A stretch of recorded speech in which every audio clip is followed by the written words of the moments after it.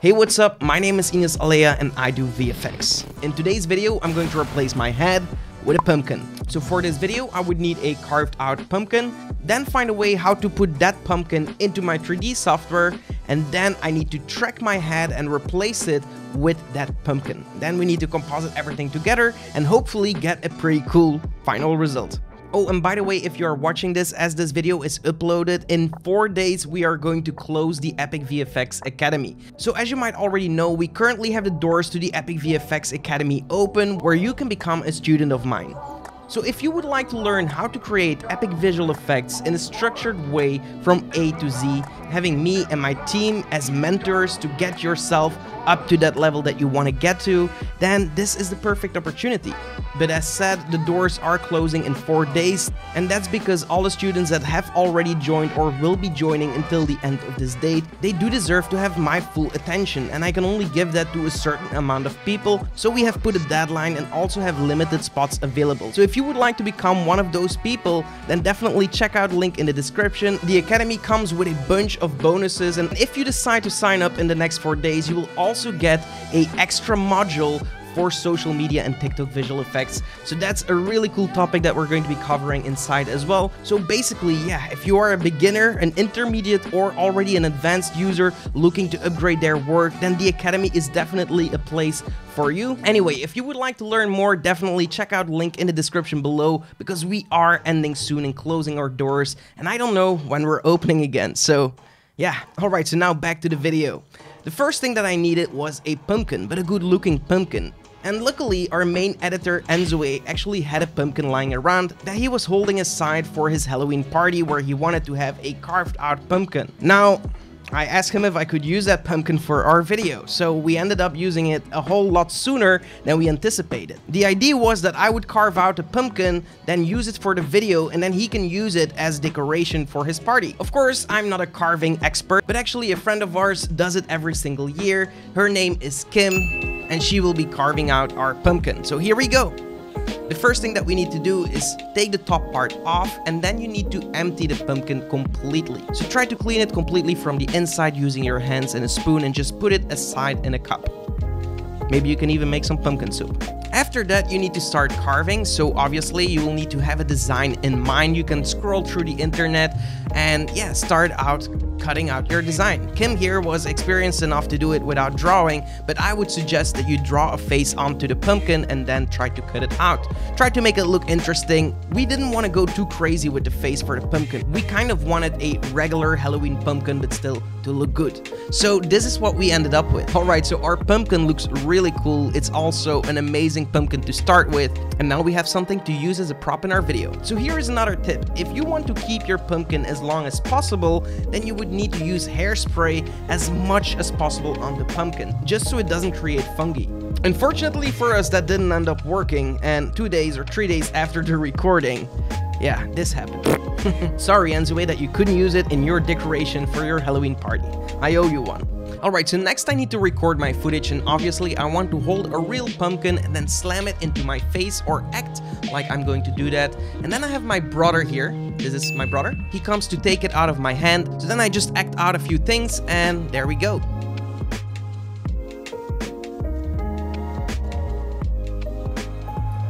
Then I go a little bit crazy and I cover my head. This is actually for later in the video.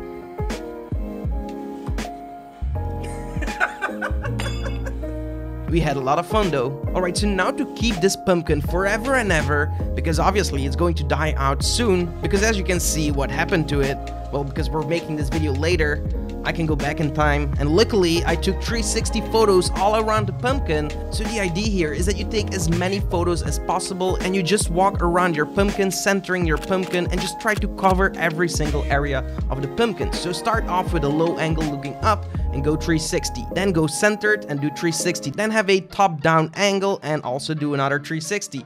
And I brought all of these in Lightroom. When you are doing this, three things are really important. The first thing is that you put it on a static object that is small, but still can support your object without jiggle. The second part is try to avoid any kind of reflections, so try to do this in the early morning or when it's cloudy, so you have your natural diffusion of the sky, or do it indoors with an evenly lit scene. Then the third And most important part is also to have your camera settings in manual. So you can either do this using your phone for free, really simple, just going to the Google Play app and install the Kiri Engine app. Then you just log into your free account and you just take a 70 photos maximum, I think, for the free version. And you can just take 70 photos of your pumpkin and that's going to make a scan automatically in the app. I took the more advanced route, but really it's not necessary if you want to create a video like this. I just like to do things in overkill using my S1H as my main camera having high resolution photos and then uploading these photos in the in-app browser from the Kiri Engine app.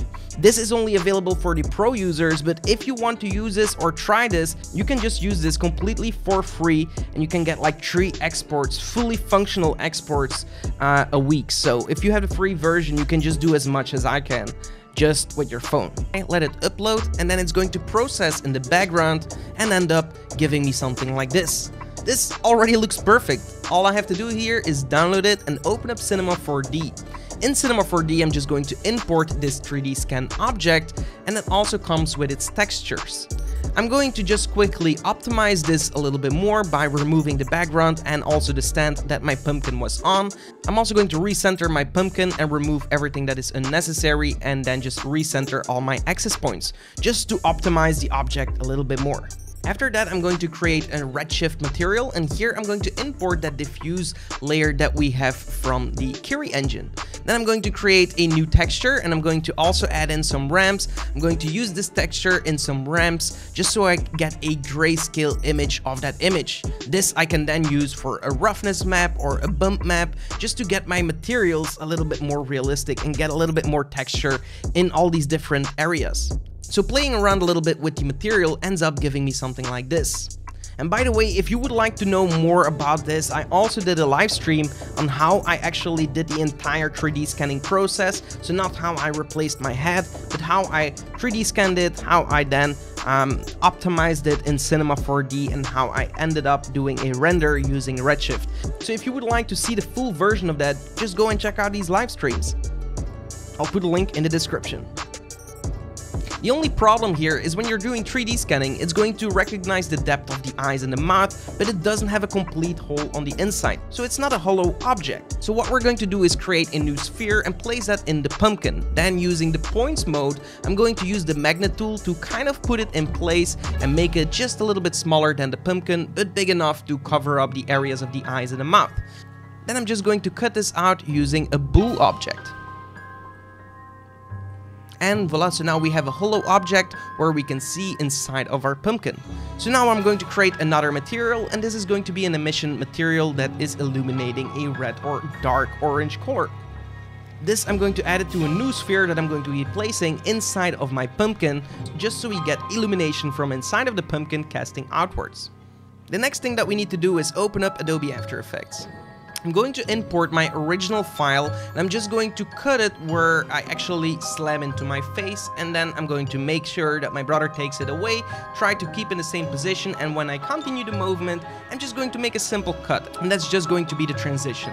After that, I'm going to isolate my head by just masking around it and making sure that I only see my head.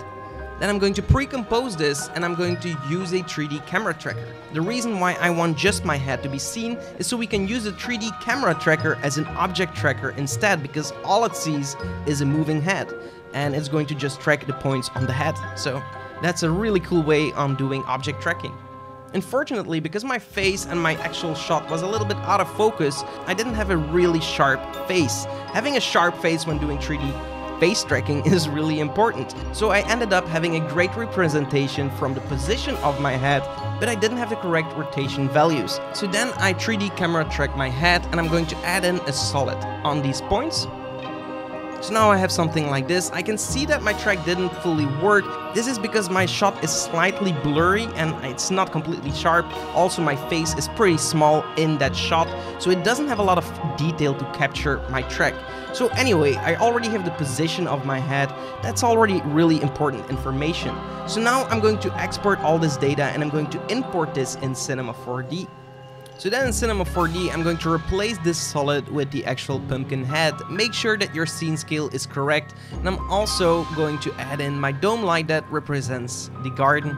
Now, to get the facial expressions of a pumpkin that was actually shot or 3D scanned statically, we're going to use a pretty cool technique called pose morph.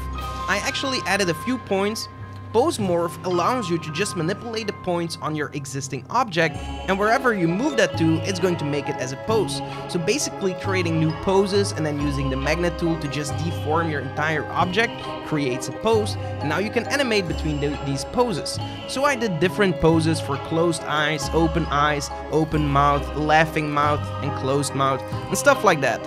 After that, you can just keyframe the animation of these. Once you're ready, of course, I'm going to render everything out in multipasses and bring them in Adobe After Effects to do some final comp work. I added in some shadows below it and also some reflections. I added a perfect glow on my emission channel to just make everything stand out a little bit more. Added in a night overlay grade that I always enjoy to do.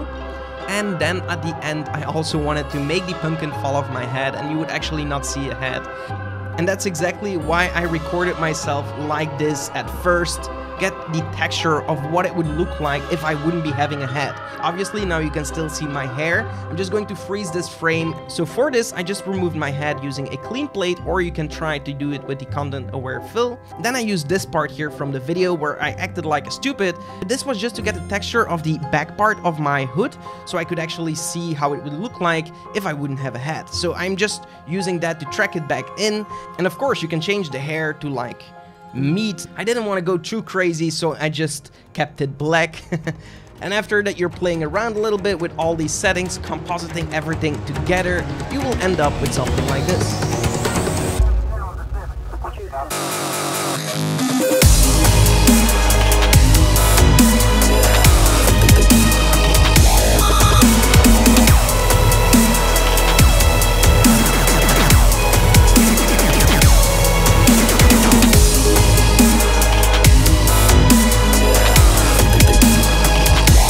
Alright, so that's pretty cool. I hope you enjoy it as well. And if you did, definitely like this video. And also, maybe subscribe to the channel and hit the notification bell so you stay notified when I upload new videos. Apart from that, I'm going to leave you with another upload of mine right here so you can continue your VFX journey. And hopefully, I'll see you in the next one. Until then, create epic videos. Happy Halloween!